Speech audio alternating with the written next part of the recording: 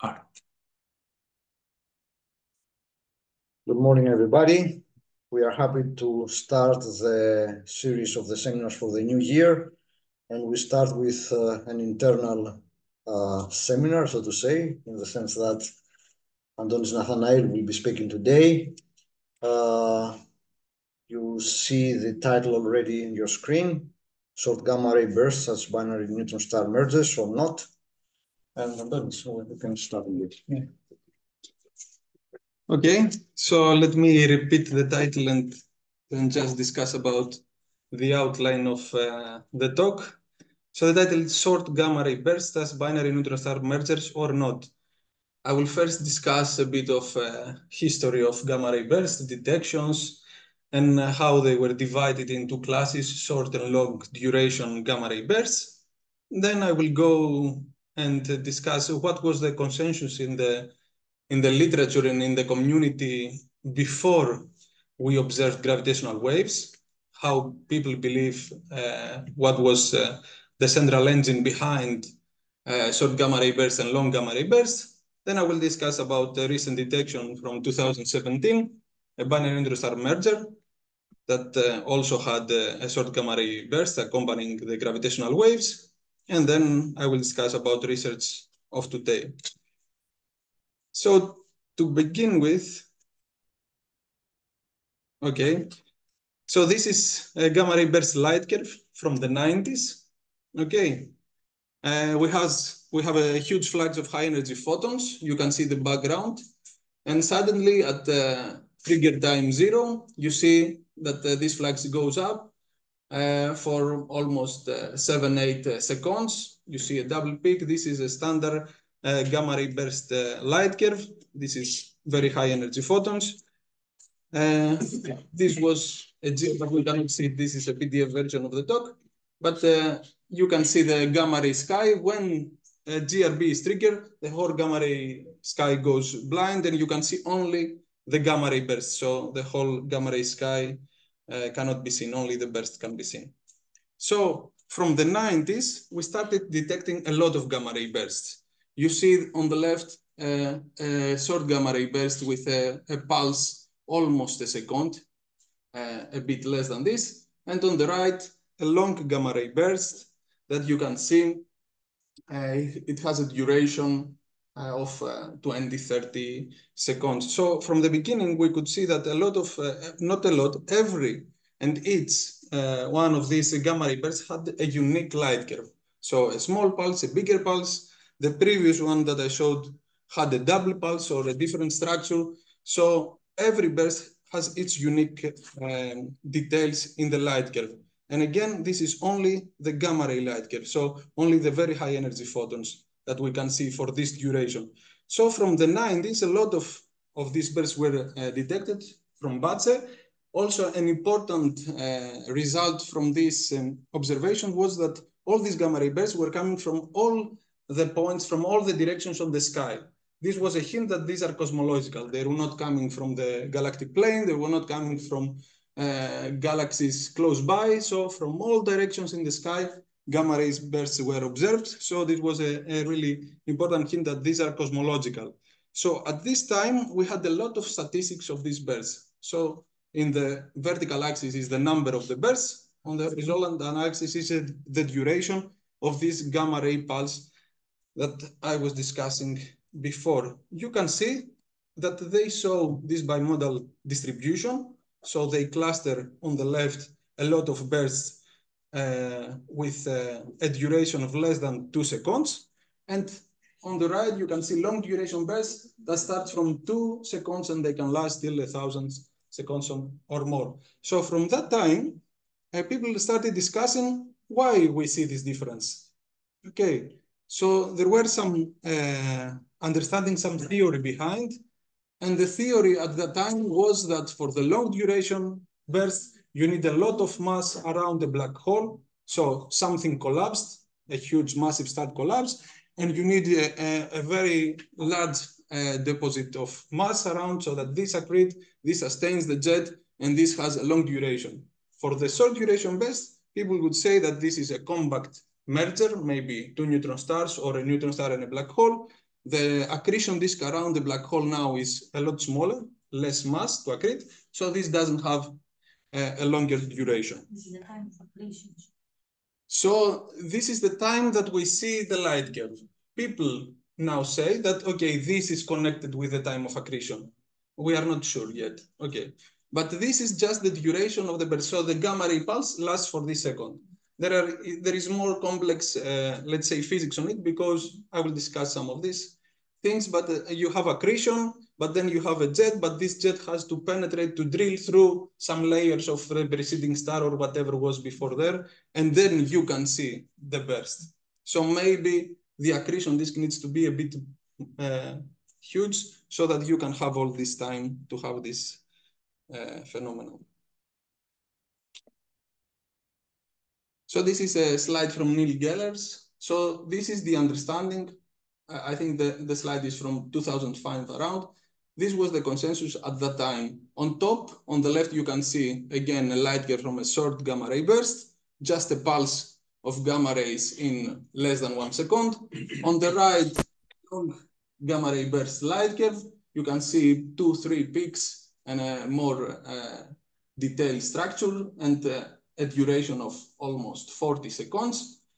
And the difference at that time, we could see also some host galaxies at the time. So first on the right, for long gamma ray bursts, all of these long gamma ray bursts were coming from star-forming galaxies. Okay, we had a lot of long duration uh, gamma ray bursts that after some time a supernova was detected. So the collapsar model was well supported. What is the collapsar model? The idea is that you have a massive star of around 10 or 12 solar masses and more.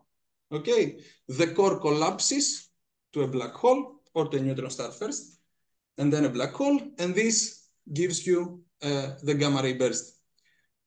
On the left, from the short gamma ray burst, there were from star-forming galaxies, but also from non-star-forming galaxies. Never a supernova was detected accompanying the short gamma ray burst. So people were discussing that possibly there is a merger process behind, the compact object merger. So maybe two neutron stars or a black hole and neutron star. So that was the consensus at the time. And the idea that we are almost sure that these are two distinct classes of events. Even from that time, observers started discussing, okay, how can we understand when we first see in the first seconds, let's say, of a burst, how can we understand if this will last as a short duration burst or as a long duration burst? On the right, what the plot shows on the horizontal axis is the isotropic luminosity. So this is something observed. You have to know the distance to know the luminosity. So all these bursts are with known distance, with known redshift. So they have detected the host galaxy, and from this red, the redshift, so they can find the, the actual the actual luminosity. And on the left is the peak is the peak uh, of the spectrum. You see, with black dots are the long GRBs, and with red are the short GRBs. All of them show the same correlations. Also, the short lie in the same uh, manner like the long ones, so they don't see a lot of differences. I just included one plot from the study. This study is from observers, and from a lot of analysis from the spectra, the details of each best, what they say, I have the quote there, indications point to short, GRB, short GRBs being similar to the first phases of long bursts. As observers have told me, I mean, uh, speaking with them, is that when they start to see a gamma ray burst, it can be both. It has the same features in the beginning. If it stops, if it stops less than two seconds, then it is a short burst. If it continues and it has extended emission, then it is a long. So they don't have any other differences, any spectral differences, any energy differences, any correlations, luminosity, and um, uh, the peak uh, of the of the spectrum. All the other correlations are the same for long and short. So that was the idea that observers told us in 2009. Now, in 2004, this the Swift Observatory, now called Neil Gehrels observatory was launched. This was really important because at that time we could see only the first pulse of gamma rays that I was showing before. There were theories that if this first pulse is coming from a jet, then this jet will continue to propagate inside the interstellar medium. this will pile up a lot of matter, will make a shock in front of it, and this con will continue to give you radiation for a lo much longer time scale.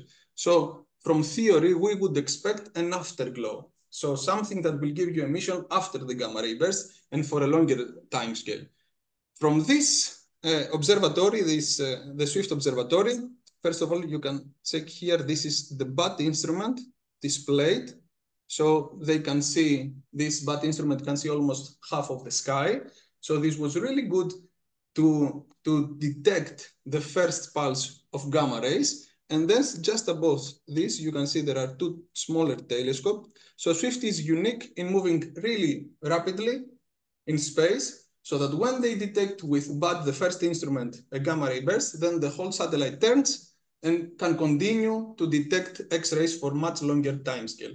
So in the light curve that I show uh, behind, on the right, on the left, you can see that the first the, the black dots, the black uh, crosses are from the BAT instrument, is the first, the gamma ray burst pulse, the first pulse that we see. And then only in some tens of seconds, the whole satellite turns and you can continue to observe X-rays for a much longer time scale till 10 to the 6 uh, seconds after the initial first. Just a, a small break here due to the rotation of the satellite around the Earth. Now, to, to have a closer idea, the first gamma ray pulse, this prompt emission, is the one that we were de detecting even before. So this is the first, the prompt emission of the gamma ray burst. This is the gamma ray pulse. We had this before, but now we see that we have a continuation of emission for much longer time scale in X-rays, in UV, and in other frequencies. And now we can say more about this explosion. So if this was a jet, and this indeed propagates inside the interstellar medium, we can now predict what will be the afterglow and check from observations uh, if this is correct or not. Now, the standard afterglow model, as I was showing before, you can see here, this is just a conical, this is a schematic picture, but this is just a conical jet. This is drilling through something. From the long, for the long gamma ray burst, it is drilling through the, through the other layers of the star. For the merger process, when these two compact objects merge, they, they eject matter, so the jet has to drill through this matter. So when the jet drills and breaks out from the ejecta or the envelope of the stars, generally from the uh, mass distribution that is around the black hole, then the gamma rays can uh, be emitted and freely uh, come to the observer. And then if you see this part here, this jet continues to expand inside the interstellar medium. As it piles up matter, it starts to decelerate and at some point uh, spreading laterally. And then these will continue to give you the afterglow for longer time scale. So this is really important. What is the viewing angle? Are we looking inside the jet? So for the most of the GRBs, we were expecting that we are looking inside the jet. That's why we see and we observe the gamma ray pulse. But nowadays, we have seen events viewed off axis, so from the side.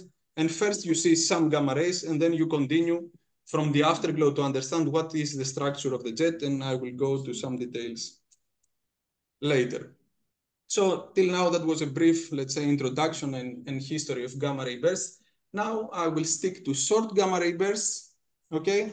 What is the what was the consensus in the uh, literature?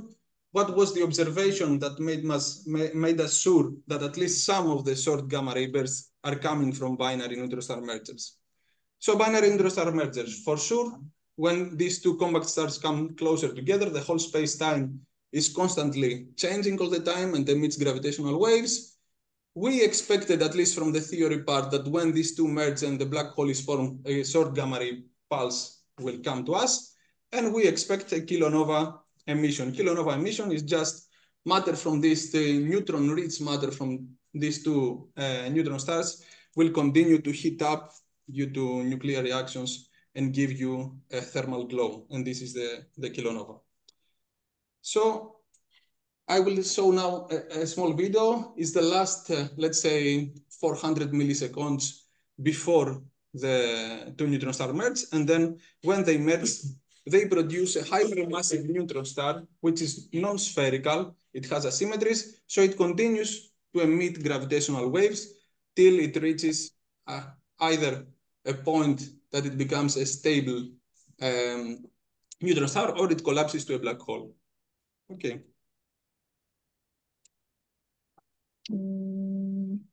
Before I start, so uh, you, you can hear the frequency of the gravitational waves as a sound. And also uh, notice as these come closer together, they are tidally disrupted and a lot of matter is ejected. And this is done in a non-uniform way. So all these ejecta are uh, producing homogeneities in the matter distribution around the center of mass of this uh, uh, collision. And this is important. Now we see only the equatorial plane.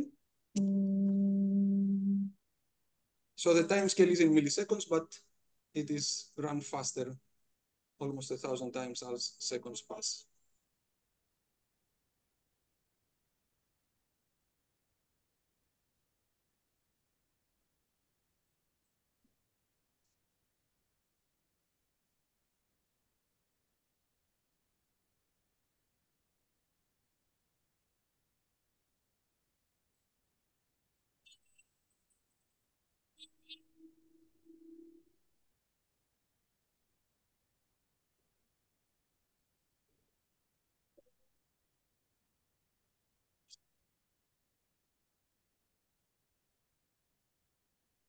So now this supermassive, hypermassive neutron star has formed and it continues to emit gravitational wave. So the first is the, the, the, uh, the, the part that we expected that uh, we would observe from uh, LIGO and Virgo, the ground-based uh, uh, gravitational wave observatories.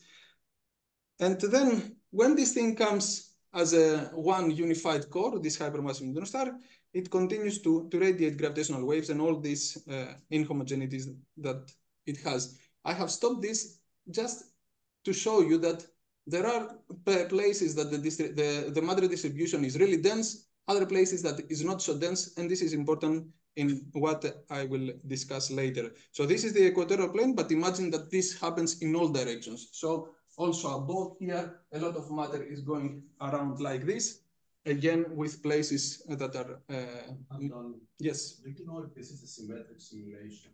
They have around only one half. No this is not my simulation and i don't know. It looks extremely symmetric.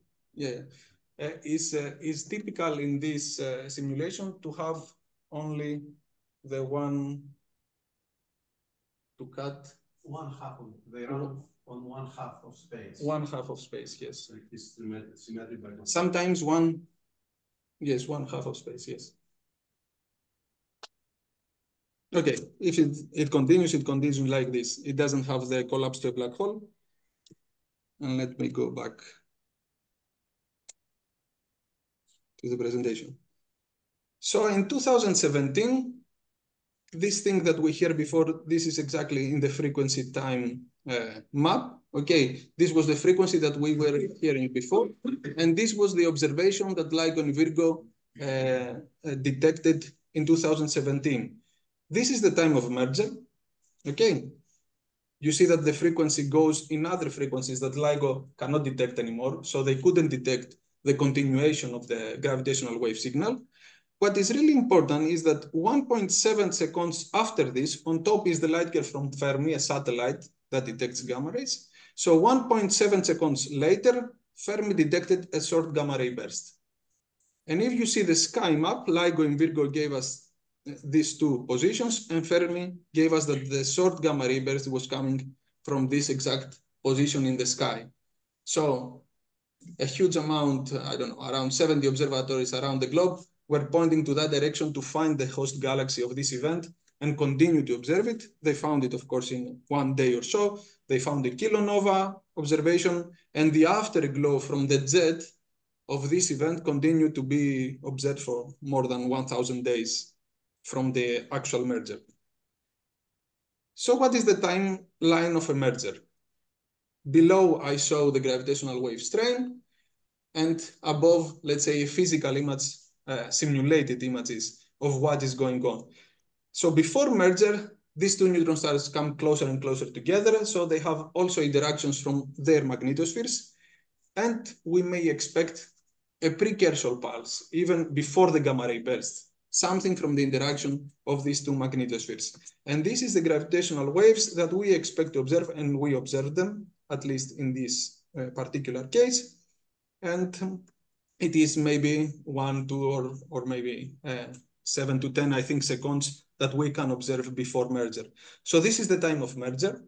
The time of merger means that we have one single core, you can see it like here, a hypermassive neutron star.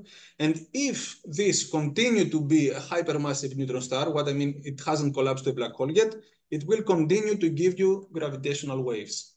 This gravitational wave uh, signal depends strongly on the equation of state, on the matter distribution, or how stiff uh, the equation of state is, how compact the star is, of how less compact it could be. And this gives you the gravitational wave signal. This is really important. We cannot detect it right now because it is in higher frequencies than the limit of LIGO and Virgo, at least today.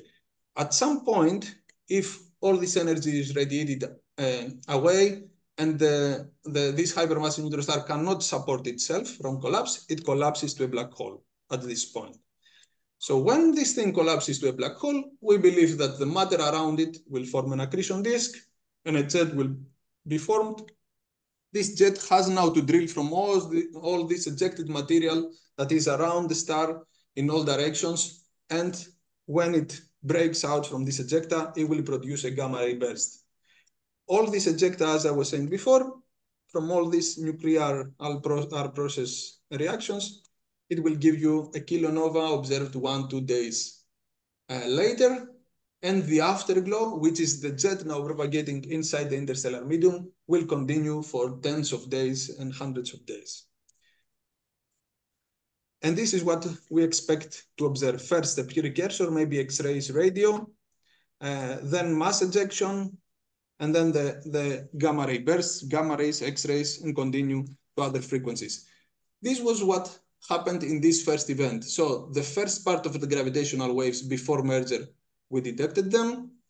No precursor, no post-merger gravitational waves. Gamma rays 1.7 seconds after merger, we observed them.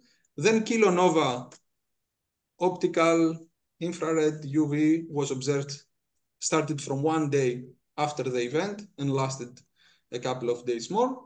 And then the radio X-ray afterglow, I think the first detection was nine days after the merger event.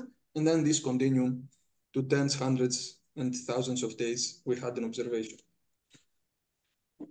So, as I said before, there was a time delay between the gravitational waves and the uh, short gamma ray burst. It was 1.74 uh, seconds. In order to understand what is going on in the system, you have to assume, uh, uh, no, before you assume, you know that the time of merger and the time that you see the, the gamma rays, so the short gamma ray bursts. So in this time in, interval of 1.7 seconds, you have first to collapse a black hole, to form a jet, the jet to drill through all these ejecta, and then to emit the gamma ray, uh, the gamma rays that will come to the observer. So putting all these details uh, into play, we found that the hypermassive neutron star collapsed in one second after merger. Okay. So in order to model now this jet propagation, you have to uh, you have to do simulation, you have to do uh, magnetohydrodynamic simulation. Here I show a comparison of hydrodynamic jets and MHD jets. It is typical in the literature that people put ad hoc, put by hand, a conical jet to drill a matter distribution. So like this, you put the jet, it drills through the distribution, and then like this, you form a structured jet. And the structure comes from the interaction of the jet and the ejecta. On the right, I show an MHD jet. So we put the black hole, we put a matter distribution around the black hole, we put magnetic field, and we just let it evolve. And the jet now is formed self-consistently. Okay, you just need to import realistic merger ejecta, you have to import a magnetic field, and then this will produce a jet and the characteristics of the jets are self-consistently from the simulation. On the left side, which is a hydrodynamic simulation, the opening angle is given by hand. So I put the jet, I put it three uh, degrees opening angle. So the opening angle is the half angle from the, from the axis. For, for the MHD jet, you just let it evolve and you find the structure of the jet. What we can see here is that MHD jets are much have much larger uh, opening angle, 10 to 15 degrees, and they have a hollow core. So in color is the Lorentz factor. You can see that the Lorentz factor peaks outside the five degrees. This dust uh, white line is uh, five degrees. Another important feature in the MHD uh, simulation is that large portions of the accretion disk become ejected. So an MHD wind is launched and a lot of this matter, if you can see here, is ejected. With the red line, I, I divide regions that are unbound, means that they will fly to infinity, and regions that are bound, that will stay to the system and eventually collapse to the black hole. So in the hadron simulation, that you just put a jet to drill through this uh, matter distribution, only the jet can escape, and some part of the ejecta, some part of the some some part of the matter distribution gains some uh, energy shock heated from the uh, propagation of the jet. However, the, the, the, most of the most part of the accretion disk will uh, continue to be bounded to the system and eventually collapse to the black hole. On the MHD case, the whole the whole accretion disk launches a, an, an MHD wind, not only the jet here, which has really uh, low density but very high energy and Lorentz factor, you can see here that the whole wind, this is not moving relativistically, but still it will leave the system, it will produ produce a wind. And this is important because this can contribute to the kilonova emission. So now what we were trying to find is this generic for MHD jets. What I mean generic is this, that they have really large opening angles and maybe a hollow cone uh, in the, in the middle. So what I plot here is polar plots from, let's say, is a zoom into the degrees from 0 to 30, expanded to the whole quadrant. So from 0 to 30, and in each quadrant, uh, I have a different model. So in total, these are um, uh, eight different models, and it shows the Lorentz factor. So you can see that in all of them, the Lorentz factor peaks at, a, at an angle at 5 degrees and more, sometimes to 10 degrees or even larger. And all models, all MHD models have a hollow cone in the middle. So now let's go back to the, to the afterglow modeling of these events and how can we understand about uh, jet propagation, what are the details of this, and how we can connect this with observation. This is work by Vasilis Mpisketzis for his PhD. So I was showing before uh, this video of these two neutron stars uh, merging together, and you could see that there were a lot of inhomogeneities in the matter distribution. So till now, we, we had a lot of simulation of jets propagating through a homogeneous medium. We tried to do this in uh, introducing perturbation in the matter around it to see how this can affect the propagation of the jet. Let me find it.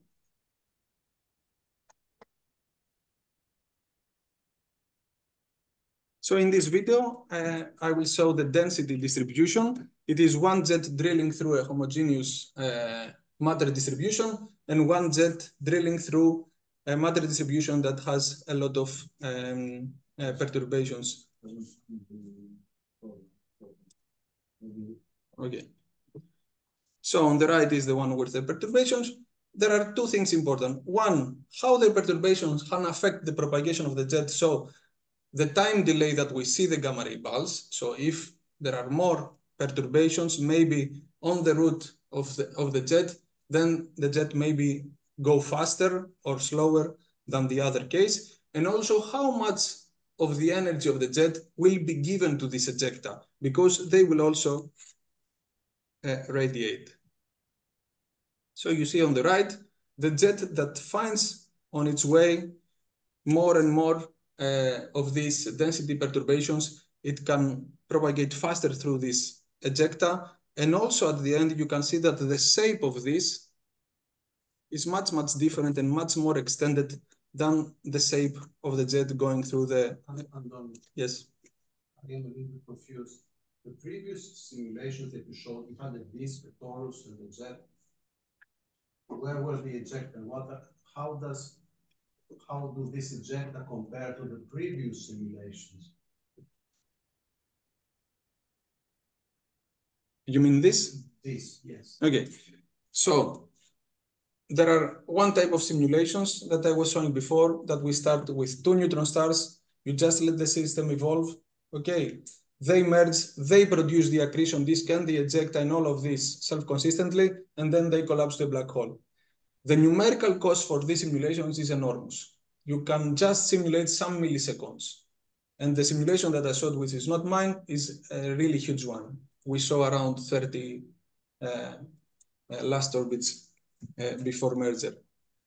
Now, what we can do here is take the space-time of the black hole and put by hand a matter distribution around, okay, a black hole. And this is the ejecta, and this is the accretion disk. So matter close to the to the um, black hole is the accretion disk. Matter further away, maybe with a velocity of 0, 0.1 uh, the speed of, of the speed of light, is the ejecta. So in this picture, there is no explosion and nothing is ejected doing around the black hole. The ejecta is part of the jet or the what?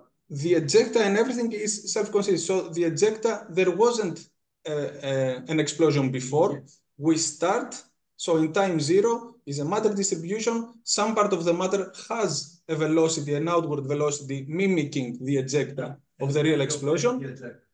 And you continue to obtain even more ejecta from the accretion disk itself. The? In the next simulation, One more question. yes, Okay. shall I take questions from you? Well, uh, it is uh, not to interrupt you for long, but Yeah. answer the first question.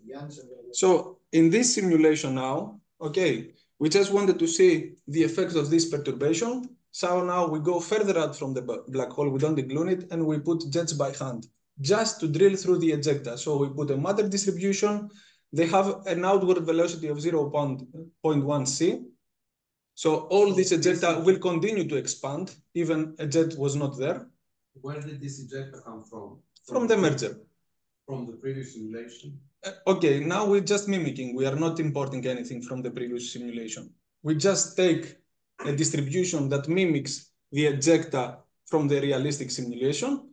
And just we inject a jet to see, So the original, the large simulation had as a result ejecta, yes, even before the formation of the black hole. yes, this continue to eject. And as long as the hypermassive neutron star is alive, it, con it continues to eject matter. So now the idea is to take this matter.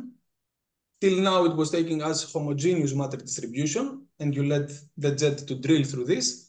And now we try to add perturbation in the density to see what will be the effect. Before we continue, let's check uh, if there is, uh, Jonas Kazanas wants to ask something about. um, Yes.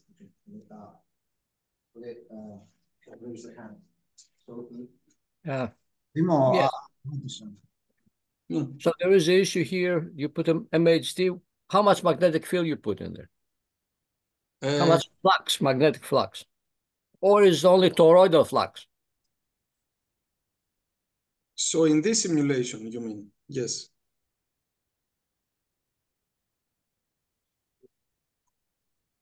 So in this simulation, what we've seen from numerical relativity simulation with two neutron stars is that the magnetic field really, uh, the magnetic energy in these simulations is going up at the time of merger. And uh, the magnetic field should be around 10 to the 15 Gauss or so. So here in the simulation, we put by hand toroidal field of 10 to the 14 Gauss and poloidal field of uh, the same or a bit less strength. Okay. And All in right. total, the magnetic energy uh, in the beginning of the simulation is 10 to the 49th ergs. So these are parameters you play with. Yes, yes. So in principle, you can put higher field if you want to, or lower for that matter. Uh, lower, yes. Higher, uh, maybe it's not expected to go higher than that. Uh, Don't you magnify the toroidal field by rotation? Uh, this will will be done in the simulation by itself. Yes. Okay. All right. Okay. I don't want to interrupt anymore. Yeah.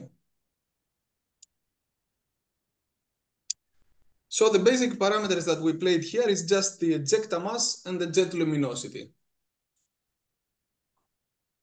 Okay, so what we found on the horizontal axis is the luminosity of the jet. On the vertical axis, on the uh, left plot, is the jet breakout time.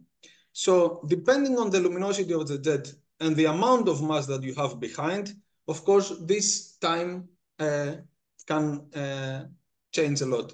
So the, the red one is the smallest ejecta mass of 0.01 solar masses.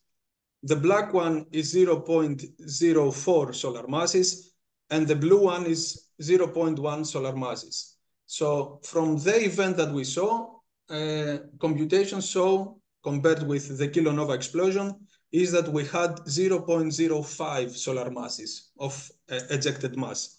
So if we had even more, you see that the low luminosity jet of 10 to the 49 ergs per second has no uh, jet breakout time. So it didn't break out at all. The jet was lost inside, lost all its energy drilling through this matter distribution and couldn't break out.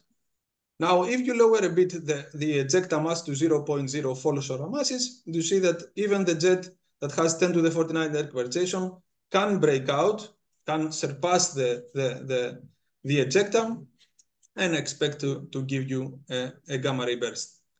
On the right, uh, we plot the, the opening angle of the jet. Again, this depends if you have a lower uh, matter uh, uh, ejecta mass with the red one and a very luminous uh, jet, then this can have a larger opening angle close to 7, 8 degrees.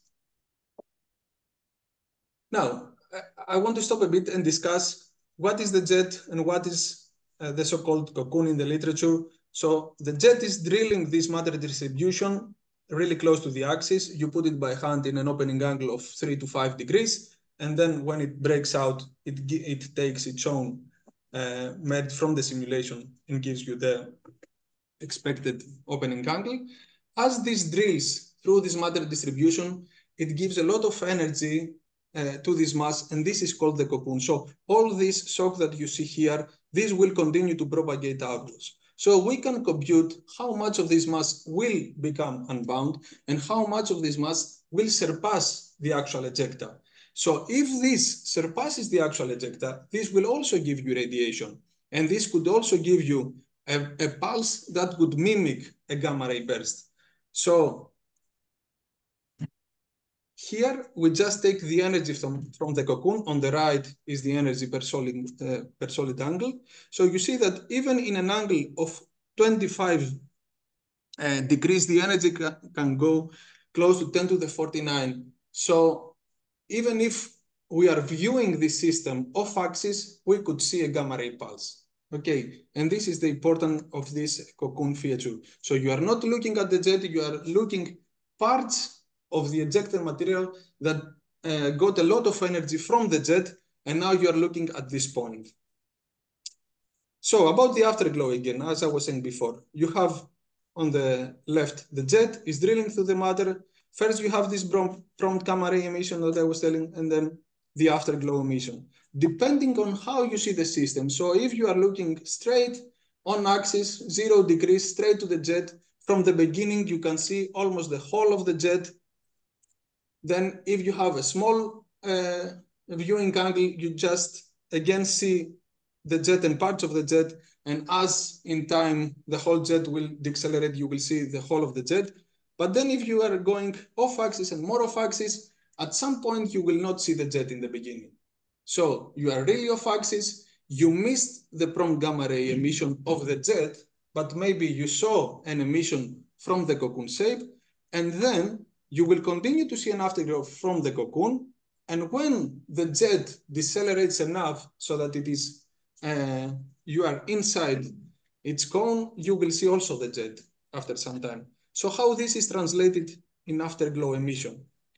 This is afterglow emission. This is flux in, in radian on the vertical axis and time duration in times. So on the left is one of our models with luminosity 10 to the 49 and an ejecta mass of 0.01. The purple one is just 4 degrees uh, viewing angle, observing angle. So you see that in the beginning, you observe almost the whole of the jet. Parts of the jet, of course, they are uh, boosted and they are uh, you cannot see. But after some days, you see that as this decelerates uh, slightly, you can see the whole of the jet, and then you continue to see the whole deceleration of the jet, and this is the continuation of this power law in time. However, if you are uh, if your viewing angle is much larger, in the beginning you don't you cannot observe uh, the jet itself. So this emission comes from the outskirts of the jet, from the cocoon emission. And then as time goes by, at some point, the whole of the jet has decelerated. You are inside the cone. At this peak, you can see the whole of the jet and the whole of uh, the jet structure. And then these continue to decelerate in the same manner.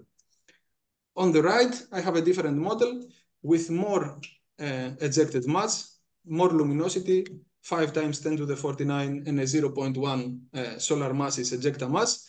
What is really important here is that when you observe these solutions off axis, the perturbation in the density is really important of what will you, uh, you will observe. So uh, in these colors, you see that maybe you can be here, maybe you can see here. So the cocoon is really important here. And the perturbation in the density has a really strong effect in the cocoon emission.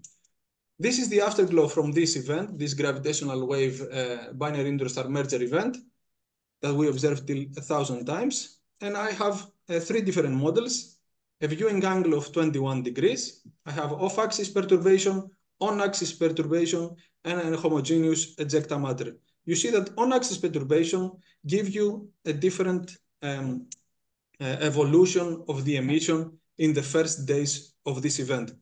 So in the next event or in any event that we will observe in the future, it's really important to take into account what is going on and how the cocoon gets all this energy to give you this uh, uh, first emission in the first uh, uh days after the explosion. Okay, so for the last part of the talk, I will try to connect gravitational waves and jet disk properties. So about, I will discuss about the, this one uh, binary star merger and the gravitational waves we observed and connect them with all the uh, distribution, with all the short gamma ray bursts of known distance that we have till today. So on the left is just uh, posterior results from the LIGO Virgo analysis. This is the tidal deformability. I don't want to go to details. Uh, smaller tidal deformability is more compact, higher tidal deformability is less compact. Uh, lambda 1 and lambda 2 is the tidal deformability of the two neutron stars. It can be different because the two neutron stars can have different masses. Lambda tilde is the tidal deformability of the system. Okay, and this is an important parameter. So when we do numerical relativity simulation that you can see on the right, you put two neutron stars, you put the equation of state that you have in hand, this gives you a different tidal deformability. And then after merger and after you have a black hole, you can measure the disk mass. So on the left plot, on the horizontal axis is the tidal deformability, and on the vertical axis is the mass of the disk that stays around the black hole. So you do the simulation, and each point on this diagram is a huge numerical relativity simulations that at the end you just measure the mass of the disk that is left around the black hole. So now, if we, from the gravitational wave event, we knew that lambda tilde and we know that is around these values, you can have an idea of what is the, the disk mass of the event, what was left, let's say, when the black hole was formed in this specific event. Note here also that the upper limit for disk mass is 0.4. It's less than 0.4, but we put it to 0.4 solar masses. So there is no numerical simulation with whatever equation of state we have in hand that can produce a disk with mass above 0.4 solar masses. I will use these values, that's why. So accretion is really important. Accretion will sustain the jet and everything is connected. The disk mass is connected with the burst duration because you need this accretion for some time in order to have your jet to be alive for some time. And also it, all, it is also connected with the ejecta and the kilonova emission because some portions of the of this disk will give the kilonova emission. So if the disk is really small, it will not give you the kilonova emission. So Salafia and Giacomazzo in 21 took these two parameters. So from this plot, they took the tidal deformability from the event and they translated to a distribution of disk mass.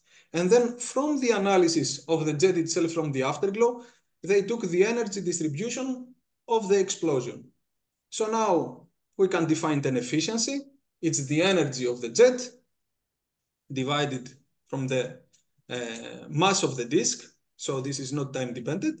And they just found this uh, black line is the distribution of the efficiency of this explosion. You have the amount of mass that was around the black hole and the amount of energy that you took from the explosion. In a similar manner, we find um, with black with uh, red, sorry, is what they try to do, and then with um, with blue we just put more information about the jet. They uh, took the energy distribution only for hydrodynamic jets. Here we just put some MHD jets, but even using their their own accretion to energy, I want to go to the next re result. So we took all the short GRBs with known uh, distance. Known distance is important so that you can have an understanding of the luminosity of the burst, and you have the duration of the GRB. These are observables. So for each short GRB, you know the duration of the burst, and you know the luminosity. In uh, we have to assume the jet opening angle. We don't know it, but we put the distribution and, and we find the distribution also for this. The ejecta mass is unknown, but it is correlated with the duration because you know the, the, uh, the, the time of the burst and you can estimate how much ejecta was produced. And we have to assume also a time from the collapse to a black hole. And this is for all the other short GRBs that we have observed. So for example, for one short GRB, this specific case is this one. You can see the name on the right, this short gamma ray burst. We are using, we are assuming that the accretion to energy efficiency is the same with the one binary neutron star merger that we observed. This is the strong assumption here. We assume that also for this event and for all the short GRB events that we are here, the energy, the accretion to energy efficiency is the same as the event we observed. And from his, from this analysis, we can have a posterior distribution for the disk mass, assuming that this was a short gamma ray burst from a binary neutron star merger. Okay, I hope it makes sense. So now in this, uh, in this diagram, on the horizontal axis is the time of the burst, this TGRB, this is an observable. And on the vertical axis is the luminosity of a GRB. So each point here can be, uh, so each uh, red dot is a GRB with these two parameters. And behind in color is the, uh, the M disk from our analysis. However, here we just use the mean value from the distribution. From the analysis, we have a whole distribution for each. So for two parameters, for a luminosity of a jet and a duration of a burst, you have a whole distribution for M disk. To plot this here, we just use the mean value, the median value. Okay. And then on top of this, we plot the GRBs that we know the distance, the short GRBs that we know the distance and we know the luminosity. And here is the limit that we have of 0.4 solar masses that comes from numerical relativity simulation. And as we found all these short GRBs, in order to give you the same efficiency in energy as the one that we observe, have to have much larger disk masses above the limit that we have seen in numerical relativity simulations. So if we translate this in percentage of incompatible observations. Incompatible meaning that they cannot they, they can't be produced from binary neutron star mergers. Why? Because we don't expect a so huge accretion disk. So with blue, we take the lower part of the mass distribution. With red, we take the mean of the M disk distribution. And with black, the higher um, part of the distribution. As you can see, even in uh, with the, taking the blue one, uh, at least 20% of the short gamma ray bursts, we believe that either they were not from binary neutron star mergers or that a different mechanism is working for these events. And that's it.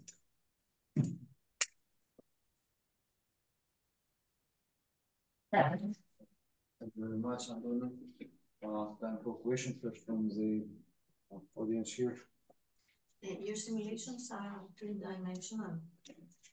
So for the simulation of the two neutron stars merging, these are 3D with some symmetries. The, for the simulations for the jets that I showed are 2D. Do you believe that you may lose some information if you You- put the third dimension? Yeah, yeah, you lose a lot of information. Uh, one information that uh, at least one uh, problem that is known is when you have one jet uh, drilling through a matter distribution in two dimension, a lot of matter piles up on top of the jet, and this cannot leave from there in your simulation. Whereas in 3D, it has it can go like this, so it can penetrate and it can calibrate the system. This is a known result, yes. Okay, and uh, I have another question. When you, the, the merger of the neutron stars uh, passes through the phase of the mass, mass injection, Mhm. uh, then you, you believe there are some elements that were created in the star during the lifetime, for example, gold something that's Yeah. ejected, like they say, in the space. Mhm. This is the only way that we can find, for example, these uh, heavy elements uh, Yeah, space. So yes, I didn't put any information about kilonova. Uh, yes, so the idea is that during merger, as you said, we have a lot of mass ejection. This mass now is very neutron rich, and we will have r-process nucleosynthesis. But this is not instantaneous. This is happening in, in time. So maybe this will come in, uh, so in one, two days, this will be heated a lot and it will produce uh, the kilonova emission. But all these elements to be produced, it needs even more time. But But- it's the only way to find, for example, some. So from the solar elements, abundances of these elements, uh, we expect that most of them are, are uh, yes, Through mergers, produced uh, through mergers, yes. Okay, thank you. The role of the surrounding uh, ISM has been uh, checked. I mean, it is not necessarily that we have a homogeneous uh, medium Yeah. that the jet propagates inside. So for the jet propagation of the, For the the element production, Well, for actually, I'm asking for the jet. jet yeah, yeah. So for Uh, the jet propagation, So as it accumulates, as you have shown, uh, Mhm. uh, then can be more or less or some different So the, kinds. the amount of uh, mass in the interstellar medium is just a parameter when you model uh, this. So Uh, what can be the effects on the observables if you have, let's say, so the, the idea is this, if you have more, if you have more interstellar medium, you cannot see very far away the afterglow. If you have less, uh, yeah, yeah. it is easier to see it from further away. In relation to your result that some fraction of this burst is not, does not come from uh, two-star merger. If you go to the original distribution of nineteen ninety-three, uh, and you plot two, let's say, Gaussians, one next to the other, you show the original. Yes, of course.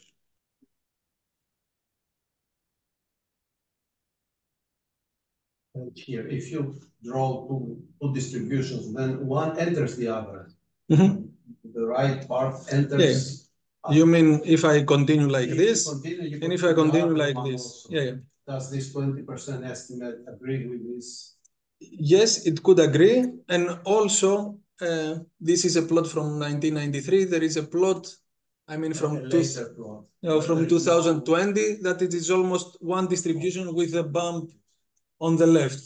So yes, yes, maybe So Yeah, they are interconnected. What do people believe they, that it is one distribution or that there are two distinct effects as you described? Because the theory was telling us that short GRBs come from compact binary mergers, and we have seen only one in gravitational waves with the short gamma ray burst.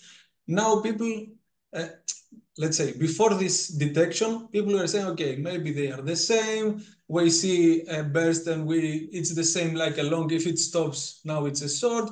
But suddenly we had this detection, and indeed, from a binary neutron merger, we had a short gamma ray burst.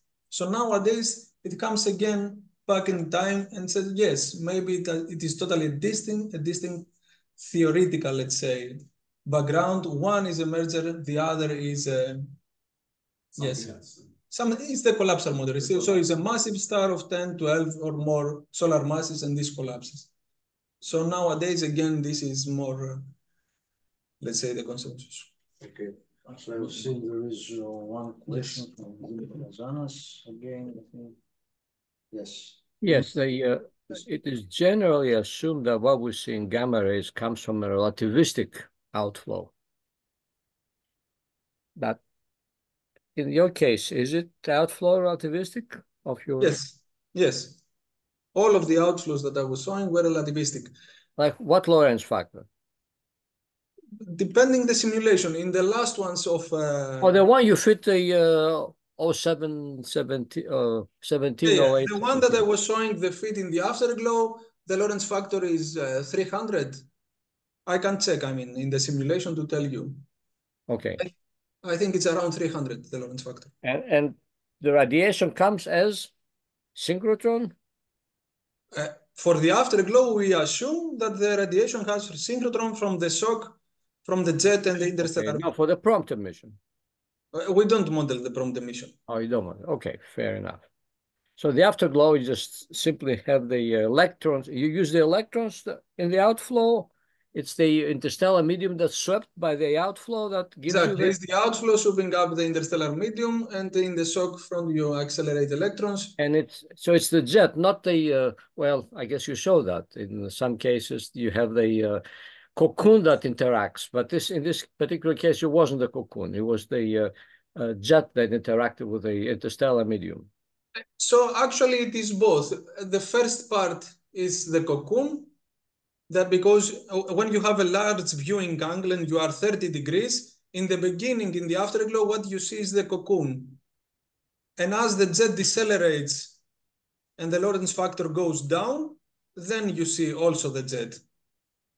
Okay. Uh, the interesting thing about this particular afterglow is that the radio, the uh, optical, and the X-rays, they have followed the same evolution. Yes. That is not seen in any other afterglow, as far as I know. Uh, that has to do with the uh, position of the observer relative to the outflow.